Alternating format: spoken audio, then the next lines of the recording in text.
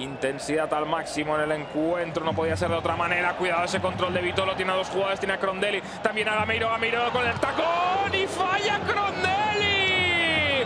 Tuvo el Sevilla el 1-3, la que falló el danés Crondelli. Aquí vemos qué bien lo hace Iborra abriendo para Vitolo, el control espectacular del 20. El toque de espuela de Gameiro. Y